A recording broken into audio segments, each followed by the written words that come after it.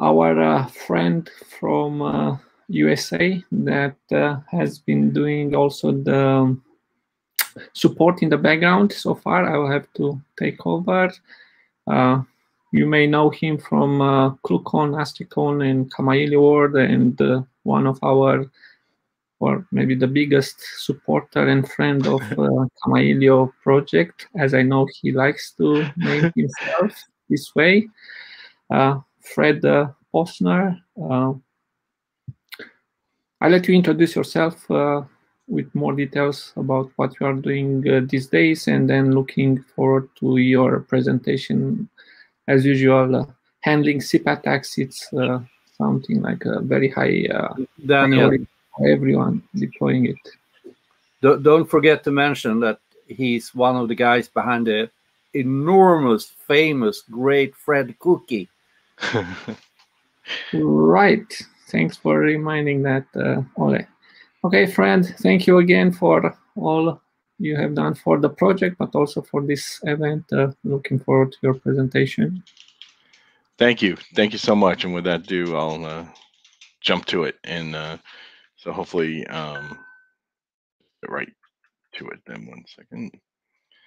All right. So um, uh, today I'm talking about uh, SIP attack handling, and um, my name is Fred Posner. And what we'll discuss uh, today will be uh, an introduction. Uh, we'll discuss some Kamailio modules um, that can help you with SIP attack handling, um, some handling that you would do in the Kamailio config, other type of handling, and then we'll briefly, very briefly discuss um, APIBAN. So introduction, as Daniel said, uh, who am I? I'm Fred. Um, I'm a big guy, so that's why I like to say that I'm the uh, biggest supporter. Uh, it's a big fat joke. Um, you can reach me at uh, Matrix is my favorite way of uh, talking with people. I'm on Twitter. I'm a voice over IP consultant, and I'm based in Florida, here in the United States of America. Um, and that's my beautiful wife and daughter. Okay, so what do I mean by uh, SIP attack? So let's define what we're talking about. SIP attack uh, basically is unwanted SIP traffic. So um, you could call it an attack because sometimes it is uh, designed to uh, do something negative towards your system. It could just be a script kiddie, uh, you know, playing around. Uh, it could be someone playing with fuzzing. It could be um, an attack from via UDP, TCP, and TLS. We're seeing a lot more um, TLS um, SIP attacks, which I know would make Olle very happy. Um, and we also see some SQL injection uh, through SIP. So, um, you know, SIP is just a way of sending and communicating with traffic. And so if I can do that, then I can do anything I could, let's say via HTTP, I could probably do via SIP, and we can have a lot of fun uh, against somebody's systems. So, what are some of the main risks from unwanted SIP traffic and SIP attacks? Clearly, fraud is probably the the number one uh, problem that that someone might have. Uh, denial of service, of course, um, you know, from your handling of it, unauthorized access to your system, and they can compromise either your system or data. So those those would be the main four is that from an attack, I might be able to compromise your system. I might just be able to um, deny service to your paying customers and, and take you down. Or I might uh, be able to get some decent fraud uh, through your system. Now, um, I know that looking at uh, text on um, some of these virtual pre presentations are a little difficult, but um, I'm just going to show um, some uh, uh, examples here. So um, the first one would be, um, and I'm not sure how well that's coming across, but uh, which brings me up to a, a great point. Um, and I'll show you that link in the next slide. But this would be, you know, just what your uh, CLI might look like uh, when you're looking at some SIP attacks. If I look at an example of a SIP attack, and again, I have on the bottom here a link to this presentation and some links that will be discussed here. So if you want to go to uh, pgpx.io um, slash KW 2021, you can see this, uh, see these slides on um, either SlideShare or download the um, the PB the PDF itself, as well as um, you know look at more detail into some of the things that we will be discussing. So, in some SIP attacks, you know, even though it might look like legitimate traffic, it's unwanted, and so um, the thing of note here is if you look at the user agent, you'll see that it's a Linksys SPA 942. And on another example, you'll see it's uh, the same. This is uh, the most common I'm seeing in the last two weeks is uh, this as a default user agent. So people like to change the user agents. They're usually just using SIPVicious or something like that um, against your system, but uh, the days of just leaving it as friendly scanner are coming to a close. So that is an example of what uh, just, you know, two example invites might look like when you're being sent. There are Kamailio modules which help you protect your system against um, unwanted SIP traffic uh, immensely. The first one I'd like to discuss would be the Pike module, which has been uh, a proud member of Kamailio for over 15 years. It tracks uh, the number of SIP messages per IP per a period of time, and it supports both IPv4 and IPv6. It's incredibly easy and simple to implement. Super, super simple. And the example that you would do for uh, implementing Pike would be to just first load the module, um, decide uh, how long of a period of time you want to use for a sample, um, how many requests you want to um, count uh, as you know, hey, if I reach more than X amount of requests, I'm going to count it as uh, bad traffic, and then uh, how long you want to uh, remove uh, that that ability to connect. And so I would just then check if my pike had been my pike limits have been reached, and I can uh, then say, hey, here's an alert. I'm getting a information from the system and exit. And and it's that simple of course, with anything with comma Kamailio, it's what you do with this tool. So Pike works really well with HTable and DMQ. Um, I like to say that um, DMQ is great because when you, it's kind of like a NATO approach. If I attack one system, I can have all of my systems respond. Um, so I can share any information with another system. And um, you can, for example, use your dist uh, dispatcher list so that I'm not blocking. Um, you know, so you know the the pike is not counted if it's a if it's a valid um, node from a dispatcher list, for example, or if it's in my auth table, or if it's um, in just an H table that I made up. So I can skip some nodes that are allowed to send me high traffic while maintaining defaults for the rest. Another great module is um, the SEC filter or SEC filter. Um, this one is new since 5.3, uh, Kamailio 5.3, so two versions ago. And this gives you a list that uh, by default will either allow or block by user agent, IP, country, domain, users, as well as um, SQL injection. And so uh, it's a great um, great module that really helps you simplify your config. Um, there's great examples on the Kamailio website about uh, working with um, SEC filter. So for example, you might want to load uh, the GeoIP module. And of course, clearly, if you want to run SEC filter, you're going to load that module. Um, it, you can keep your lists in a in a database, of course, and uh, well, that's where you do keep up. They get loaded into uh, memory, decide if you want to have exact matches, and then there's basically a case scenario. So there's a, there's an example here where, okay, I'm going to allow this. Um, it's in my allow list, so let me let it through. Uh, it's not found. It's in my block list, you know, etc. And in a more detailed uh, message on handling an invite uh, might be as uh, what I've posted here. but again, the key is um, I know that this is uh, very hard to see on the screen. So if you go to that link that I have on the bottom in red, which is pgpx.io KW 2021, you can uh, look at it, copy, paste, critique, draw on it, whatever you want. There are also some other modules uh, within Kamailio that really work well with um, helping uh, to determine if if traffic that you're seeing is unwanted or potentially uh, damaging to you. Um, table we've discussed. Uh, Daniel has an amazing quote that says, uh, "If you're not using H table, you're doing something wrong." And uh, H table just it's a hash table in memories. It allows you to um, store information uh, such as an IP address that is sending you unwanted traffic um, and access that information wherever you would like. Uh, DMQ is the Kamailio distributed messaging queue, and that allows you to share information across all of your Kamailio nodes.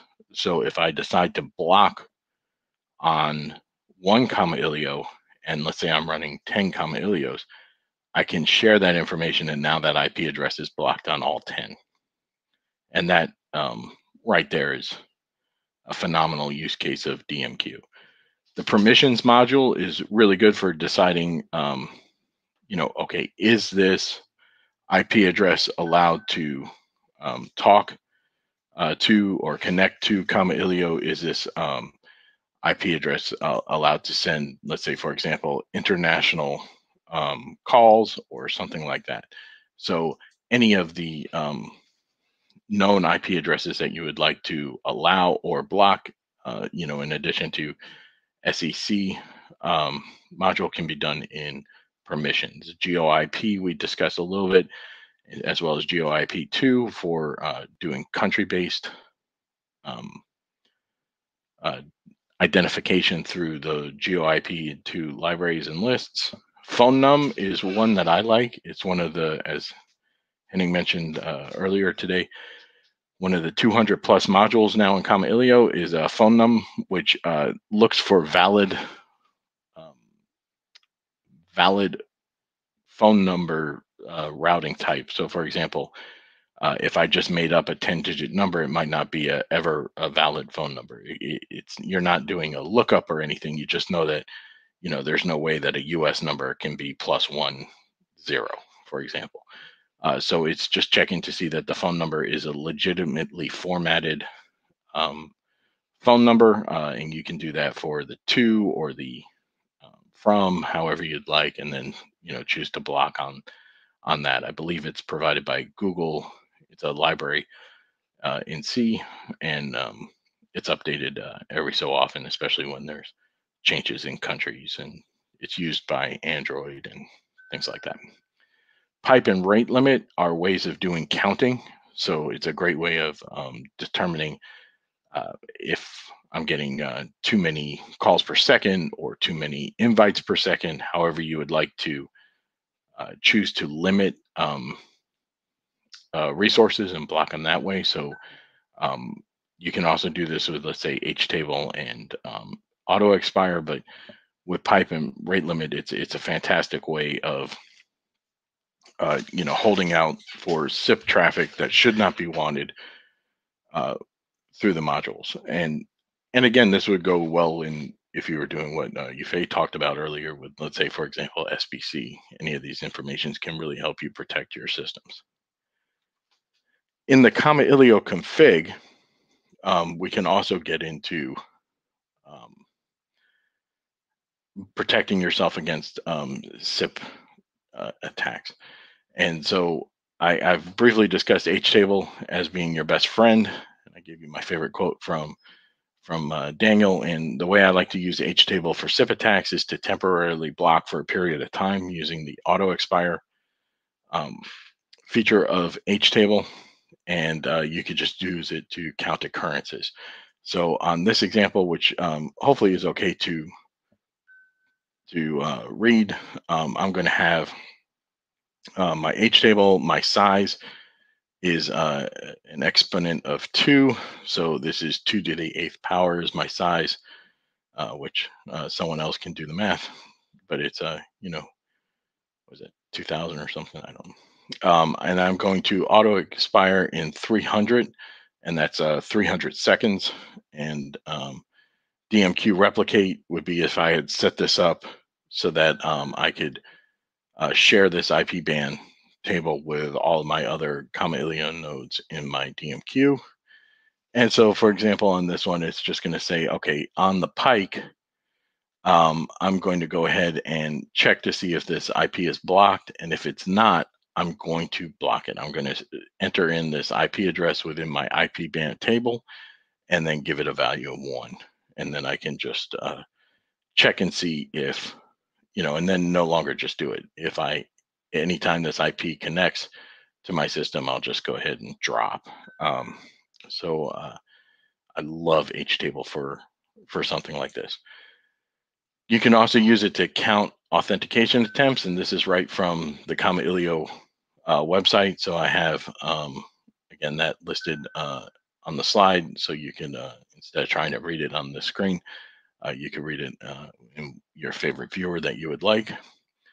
Um, and you can uh, choose this to count for, in this example, um, authentication attempts uh, that are done so that uh, someone that's just doing a dictionary attack or anything like you would uh, like that against your system would be um, blocked once they hit the threshold of let's say three or five whatever you'd like um, you can count anything you could count failed registers you can count invites 404s um, call rates you know like a uh, calls per second or invites per second uh, international call attempts if you can think it, you can count it, right? So if it's anything that comes in your system that you can articulate, you can absolutely choose uh, to count it and then uh, go plus or minus however you would like. Um, and HTable is a great um, tool to use for this. The Kamailio config also has, um, you know, uh, the Xlog module, for example. Um, if I want to log every time a, a, a, block happens, you know, I can get descriptive in how I'm logging it. Of course, if you don't review your logs, then it doesn't matter what you log, right? So please um, review your logs and, uh, and, and go from there. And then, uh, but you know, it's really good to to log information um, and then uh, review it as, as necessary. Dialog, um, if I'm using a dialog module, I can uh, keep track of active calls, and that also works with uh, DMQ. And, and, so then, um, you know, I can uh, share that type of uh, call traffic um, across my network. So if I have a user that uh, may have connected to, let's say, uh, Berlin and has two calls and then has two more calls in London, I can keep track that, okay, well, this user has uh, four calls, uh, so I'm not going to uh, let them make any more. So the unwanted SIP traffic through uh, dialog and DMQ as well, and, and it works really well. Within my config, I can use a sanity check. And last year, I believe, Henning did an, a great uh, presentation discussing uh, sanity check in detail. Uh, but basically, I'm checking to see if my uh, SIP message is uh, correct. And then with most of uh, Kamailio uh, modules and, and, working out with that, the number there of 17895 is an addition of which checks I'm going to do. So I could be checking, for example, um, a valid from, a valid to, a valid uh, RURI, uh, whatever I want, I add those all together. I come up with my number, and that's what I am uh, checking. And then I could just uh, drop. Um, topology hiding and topology stripping helps you secure your system uh, through obscurity. Um, so I can hide some of my information and strip out uh, some information that might be um, coming to my system uh, that that could affect something else. Um, so that's uh, really good if I'm, uh, for example, um, afraid of something that might attack a system behind Kamailio. Uh, so I could strip out uh, any X headers or anything that that is is not wanted, or I could just use my uh, module um, to uh, almost act as a uh, I mean, uh, it's not, but I'm just going to say for the sake of argument a B2B UA, but it's clearly not a B2B UA. So I probably shouldn't have said that. Anyway, uh, you have a server header and uh, agent headers that you can uh, have access to the Kamailio config.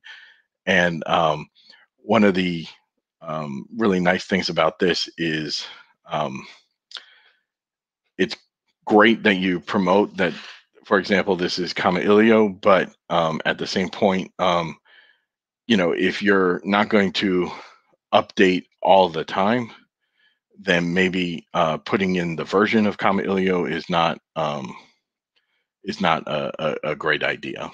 Um, so you know, you could just say Kamailio, or you could remove that um, completely. But uh, although I I love seeing uh, the version in there, um, if you're not going to be up to date, then you're just advertising that you're using uh, perhaps a version that should have been updated. So we have some other handling and um, things that can help you out with handling SIP attacks. So going into what I just said there, updating Kamailio to the to the newest versions that come out is a great way of protecting your your Kamailio server. The software is uh, constantly updated uh, with anything from bug fixes to the rare but yet still existed um, security vulnerabilities as well as uh, memory enhancements, processing enhancements, and new features. So please uh, update your Kamailio. It's uh, super simple with Git, and you know some people like to use packages as well. Uh, we try to do as as many different ways of you having access to update your system as great as possible, as well as updating the software. You should probably also update the operating system. So there, you know, there's a, uh, well, they just tweeted the other day about a SSH library um, or SSL library, but who cares? There's libraries constantly being updated because that's what we do. We constantly improve ourselves, right? And then you could um, not just do your operating system, but you should also do your firewall and your network and all of your equipment should be up to date and checked for vulnerabilities. I would be remiss if I didn't mention Fail2Ban. Um, I have two biases against uh, Fail2Ban is that I don't like Fail2Ban and I really don't like Fail2Ban. But Fail2Ban uh, reviews your logs and uh, uses IP tables the great thing about what uh, Fail2Ban does is that by blocking something in IP tables, I'm blocking it, um, you know, at a different layer than Kamailio gets it. So I get much better uh, performance. So if I'm being hammered by an IP, um, Kamailio will use more resources than IP tables to block that traffic, right? Just by the nature of how uh, Linux works and everything like that. So by blocking it uh, within IP tables, I'm going to do a better job, uh, significantly better. So uh, if you know that something should not attack you or should not reach you, dropping it or putting it in IP tables is uh, phenomenal. Um, but again, I really don't like uh, Fail2Ban because I, I just don't like the resources it does. But Kamailio has this really neat thing about um, um, uh, using HTTP client uh, to hit APIs. And we were just discussing yesterday how easy Golang makes it to make an API. So here, uh, go to GitHub, we have an A IP tables API. So uh, just introduce that through uh, LOD slash Palner. It's a very, very simple API for adding and removing IP addresses uh, to a local chain in your IP tables called API ban local. It will make um, its own uh, chain in there and add it for you automatically. It's open source. Again, if you go to that link, uh, and that link is also on the PGP, PGPX page, um, it will automatically uh, block in IP tables for you and uh, works in conjunction with other things. Here's an example. But basically, when uh, an item comes into H table, I'm going to block it there. I'm also going to send the query to IP tables API to block it in um, in uh, in my um, IP tables, and then when it expires, I'll remove it from IP tables because the uh, simple get um, uh, API uh, will work uh, for you there.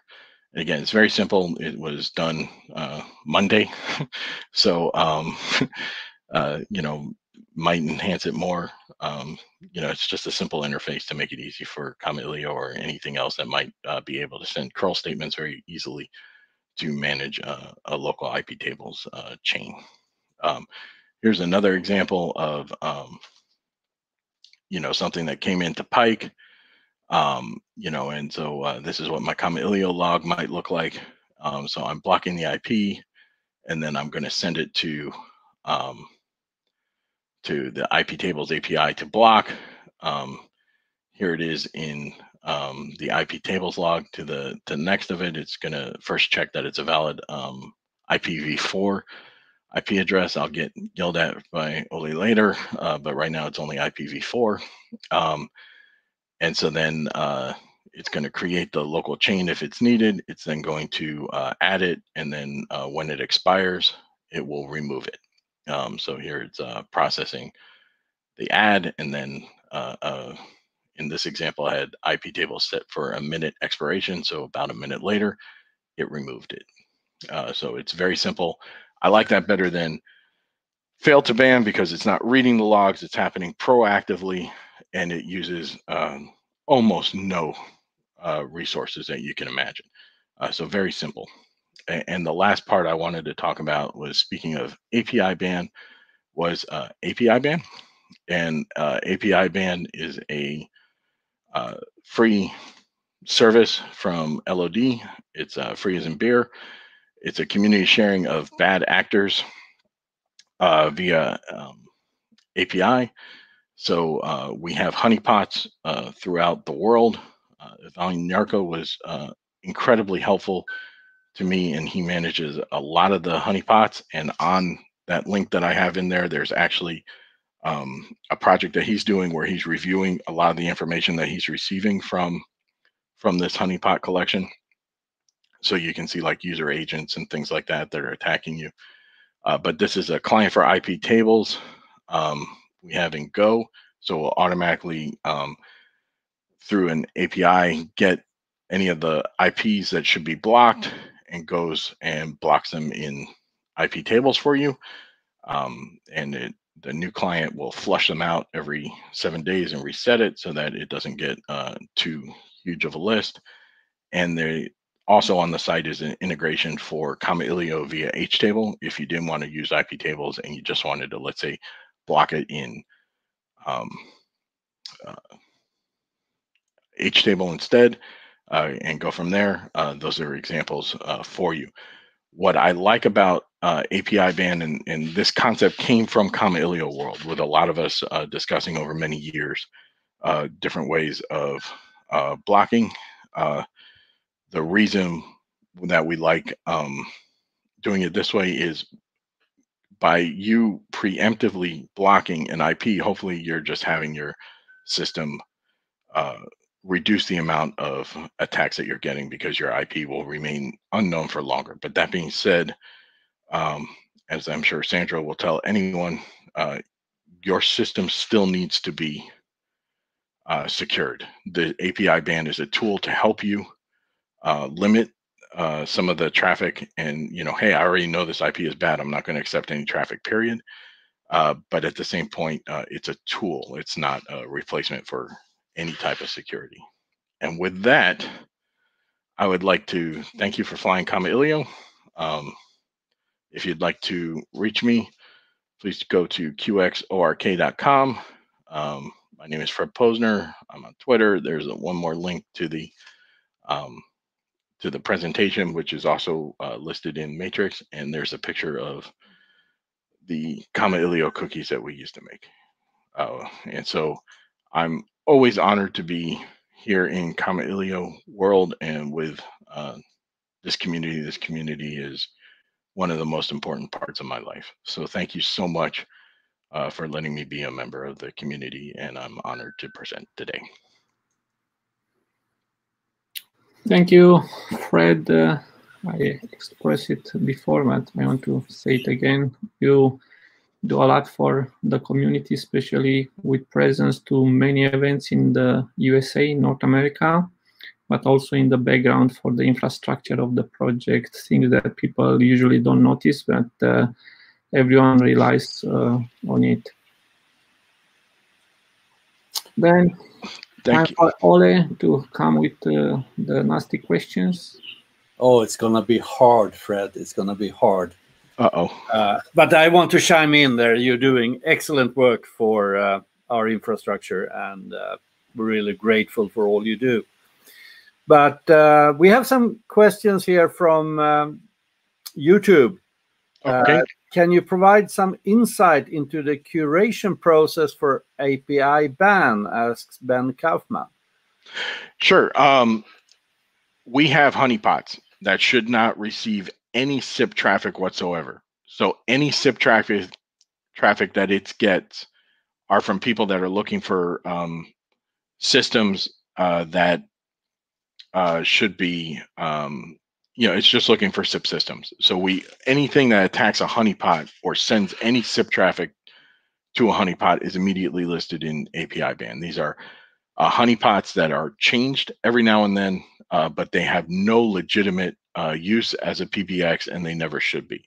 There's also um, uh, some systems that we are in that we have directly uh, that are looking for uh, bad traffic attempts and things like that. And those are um, also um, added manually generally. But the vast majority, I'd say over 98% of the traffic that are in APIBAN comes from honeypots itself. Okay. Oh, and then the process is once you're in uh, APIBAN, you're in there for seven days. Then you're removed gracefully, and then uh, you're added back uh, whenever you do another attack. Um, and uh, the vast majority of IPs that are listed have been blocked more than once. Henning, did you have a question? Yeah, just maybe to follow up on this part. Um, do you experience any issues like for example with hosters that rotate ips through their servers like for example i get a new server and by chance it was used one hour before for some bad attacker and i get the same ip do you have some occurrences with these kind of issues yeah we do have a lot of um, vms uh, and vm users uh, that are um, not caring about the traffic that come out of their system so that you okay. know if you were to get a, a system uh, you know it might it might be a um, it might have been used in, in an attack an hour later an hour earlier right um, so that's why we do the seven day um, the seven day rule but that being said um, you know that's something for you to address with your provider for those seven days until you're unlisted let's say you know the guy did it mm-hmm. yesterday and now you get this ip um, because that that host provider should do something. And then the the most active hosts are generally always the most active hosts, and so uh, that network is just um, a source of bad traffic. And I've identified, you know, I've reached out to them many many times to try to see what they would do, and of course, uh, they could care less. Okay, I see. I mean, just if you grow, you might encounter some some needs maybe for some like unsubscribe or unban whatever functionality, but as similar, for example, for spam, you know, there's some, some similar way you also you are blacklisted by wrong means by some technical reasons, so that you have a way to to unblock. Just yeah. So right now, the seven days hasn't been a huge problem uh, just because generally hopefully you know you're you're not going in and then going live for oh i'm i need all these uh, sure, sure. sip that i'm sending out you know in seven days but uh yeah i mean if if that did become an issue then uh, unsubscribe feature would be uh, not a problem if we could make it legit okay. you know depending on the traffic that was hit Thank of you. course yeah. another question from the crowd and this time the crowd is Sandro Gauci, well known oh, no. for He asked for any tips on how to manage logs, not to break family by reading logs all night. Uh, monitor logs without employing a team of people to stare at them. So I first want to uh, just thank Sandro because the contributions that he's made to uh, VoIP security have been, uh, I, I, I, mean, just immeasurable. Uh, so what a what a phenomenal uh, contribution he's made, and the sharing of information that he provides is just uh, uh, fantastic. Uh, so my first response to that would be, I, I don't understand the problem. Who doesn't love to read logs? It's, uh, I mean, breathtaking uh, time and time again. Um, the way that I've always handled uh, logs is to spend the time at first trying to see patterns in logs and just getting familiar with what your system is logging. Um, and then going for um, items that normally don't get hit as much, and then uh, uh, going from there, and then um, so that you're reviewing your logs, seeing what what normal patterns can be, and that could even be as simple as, uh, wow, my normal Monday log should be five megs, and you know this one's seven megs. Uh, so why is you know what happened here, um, and, and, going from there, as as well as um, you know, in Kamailio, for example, that you can change the, you know, maybe this this item is informational, so I'll use L info. Uh, but a block, I might put L alert or L error um, so that uh, I can easily find uh, the items that I want to find, but as well as, you know, even if you just did, uh, instead of, uh, you know, the Cliff Notes version is just looking at uh, log file size and, and, trying to come up with ideas is what baseline should be there was some discussion between the audience. So if you want to know more, you can read a YouTube chat. Uh, I had a question here uh, from someone in Sweden called Johan. uh, you didn't mention the Kamailio counters and stats. I didn't. That that was a uh, an excellent point. I should have mentioned that. Yeah, I normally use them to add counters, and then I graph them, and I see when bad things happen, when nor normalization is changing. And there's yeah, a lot that, of cool stuff you can do there, and we expose them through SNMP and other means as well. Yeah, and through Grafana and, and some of the other uh, to make easy to see charts for that information. It, that that was a, a that, that's a great call out. Um, that was something I should have absolutely you, put in there. You can also add custom counters. Uh, we have a question from Mudasir uh, here. Uh, is there any documentation for APIBAN or integration with Asterisk? What is Asterisk, by the way? Sorry. No, there's not because you can't really do anything with um, APIBAN with Asterisk because it doesn't give you the same type of uh, visibility that you would have with um, Kamailio. Now with um, PJSIP, it's getting a lot better where you can get into headers and things like that.